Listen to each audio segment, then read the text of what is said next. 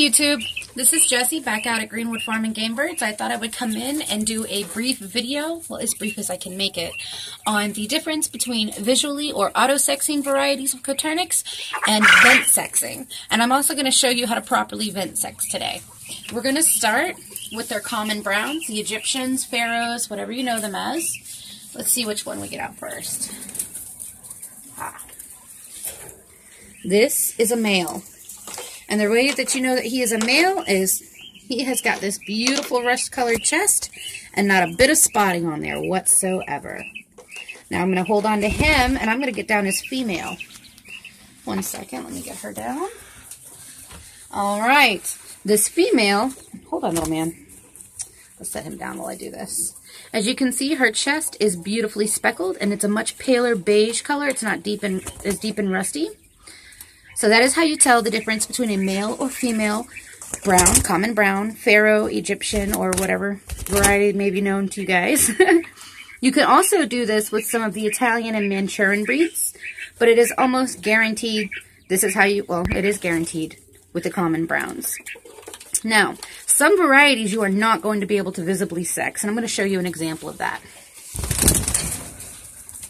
This is a Texas A&M.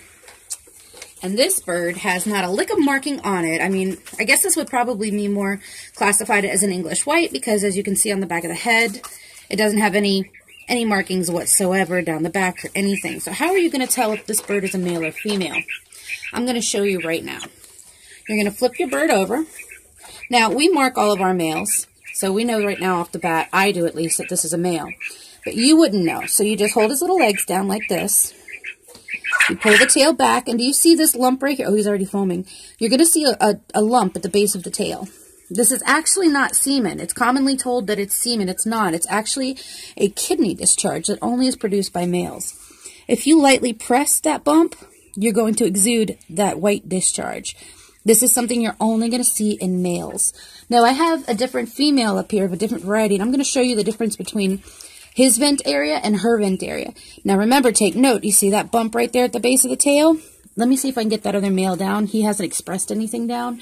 And then the bump may be a little more visible to you. Come here, handsome. All right, so we're going to do the same thing. We're going to put his little legs down. We're going to pull his tail back, and do you see how large that area is right below the vent? I'm actually touching the tail now, and it exudes up.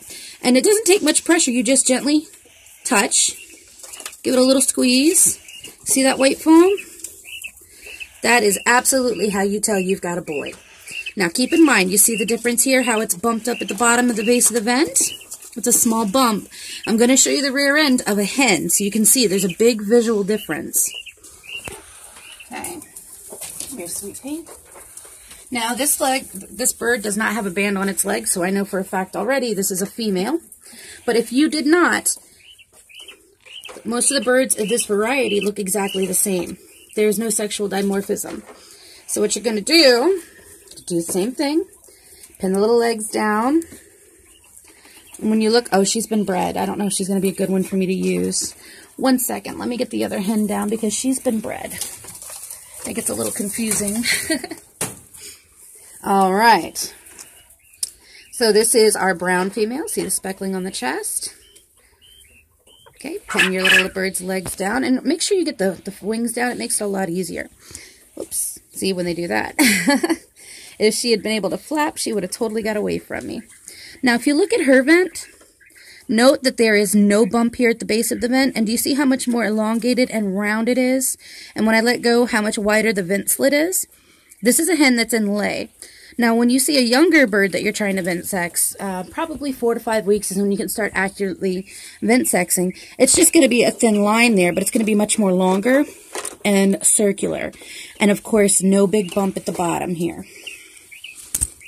So, quick review. This particular bird is a female pharaoh.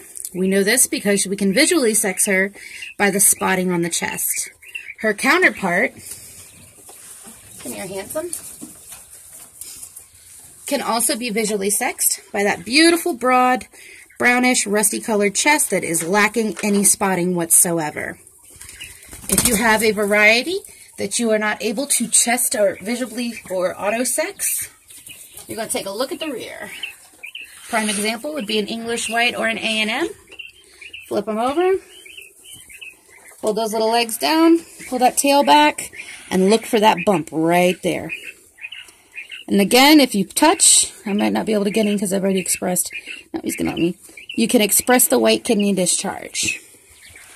If it's not a male, what you're going to see, sorry little lady, what you're going to see and she has been bred, so excuse me. Oh, we used the brown female, didn't we? Because she was bred. Are you the female? Nope. Come here, you. No, you are the female. What you're going to see visually... Hang on, little lady. I know you don't want to be on your back. I know. Hold on. Escaped quail. We're in the quail shack, so they can't get out. No worries. Is, again, an oblong slit on the vent area, a lack of bump at the base of the tail, and you're going to see circular Again, this is a laying hen. You're going to see a much more circular vent area. And uh, this is a laying hen, so she's protruding a little. She's actively an egg layer. If she was not actively laying, this would just be a thin slit. And obviously, without lacking the bump at the bottom, you would just see the slit and it would be much more flatter, but still have that very circular look. All right, guys. Let me catch our uh, runaway real quick. I'll get her in a second. She's coming out. Alrighty, I hope this has helped you and made vent sexing and visual or auto sexing a little bit easier for you. And again, we look forward to seeing you guys on future videos. If you have any questions or concerns or you have any good info to add to it, feel free to uh, comment. And we'd all we'd all love it if you'd subscribe. We plan on doing plenty of more videos. So I guess until next time, y'all, this is Jessie from Greenwood Farm and Game Birds, signing off.